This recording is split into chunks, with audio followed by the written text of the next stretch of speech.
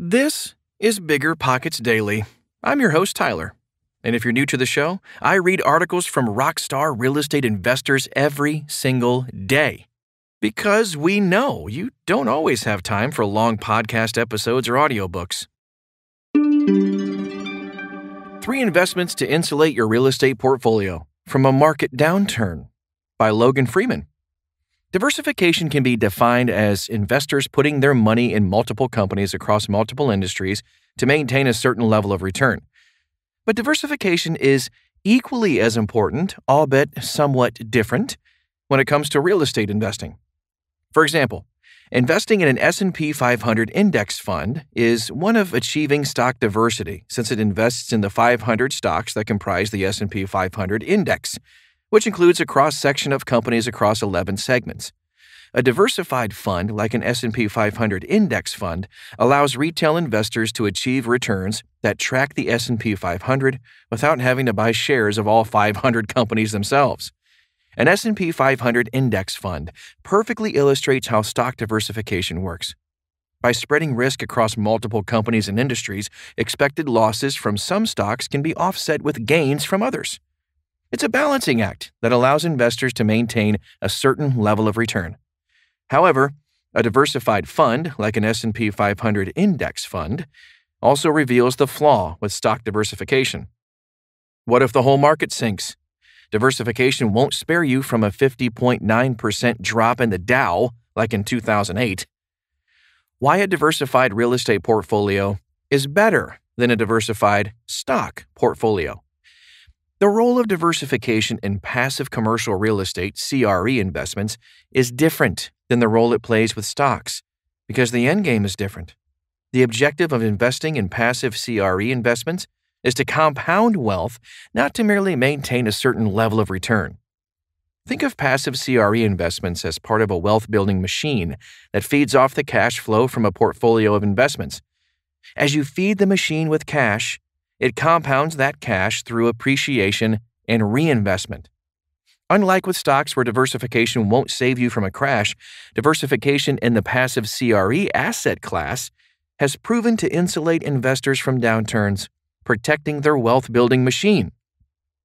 Because investors can diversify CRE assets across geographic markets, asset classes, property types, and investment strategies, the right mix of properties will ensure uninterrupted cash flow. With the right assets in the right markets, income may dip with some assets, but won't come to a screeching halt. This is because people don't stop needing housing and businesses, like offices, warehouses, etc., overnight. And because CRE assets are illiquid, owners don't unload them in a crisis like with stocks, driving down their values.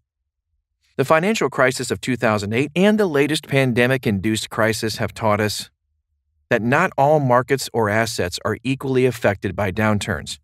Some are more resilient than others. The key is to not have all your eggs in one basket. Diversification options public versus private. Passive CRE investments are available in both the public and private markets. But how do they stack up against each other in terms of diversification and the ability to withstand market downturns? In the public markets, REITs, real estate investment trusts, are the principal investment option. In the private markets, real estate syndications and private equity are two alternatives.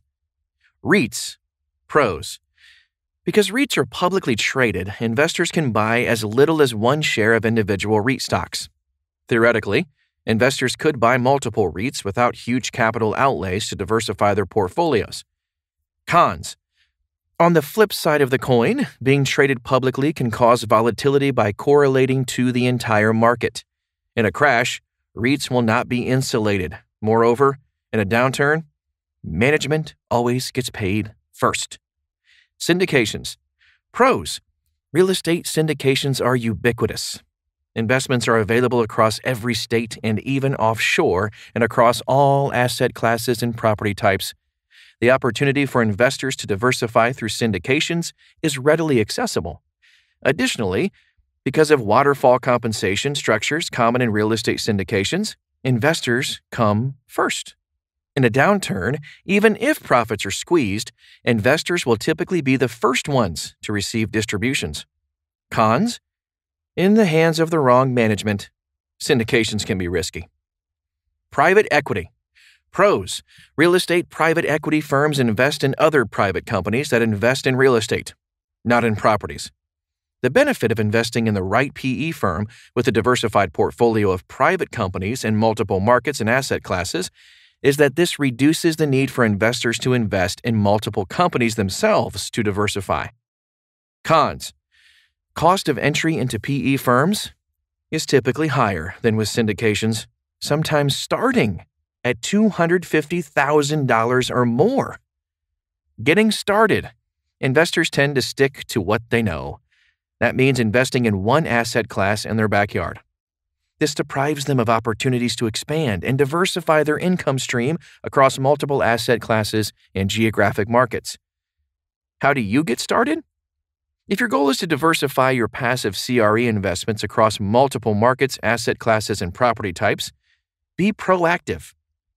Seek out those private opportunities through syndications and PE firms to help you achieve this goal. Make connections with brokers and agents who are connected to new markets you may be interested in. Leverage social media, LinkedIn, Facebook, BiggerPockets, etc., to make these connections. Chances are these brokers and agents are familiar with the active syndications and PE firms in their markets. Besides, with relaxed advertising rules applicable to certain private exempt offerings, passive CRE investment opportunities can now be found through a web search. To achieve true diversification, diversification that will preserve income and insulate against downturns and volatility, look beyond your local market and core competency. Seek out seasoned syndicators and managers who have been around the block and know how to navigate their way around a crisis. Screening and selecting competent management will be key to achieving your diversification goals. That's this Tuesday's show. What do you want to hear more of? Shoot us an email at podcast at biggerpockets.com to let us know. Thanks for spending time with us, and I'll be back tomorrow. No, really.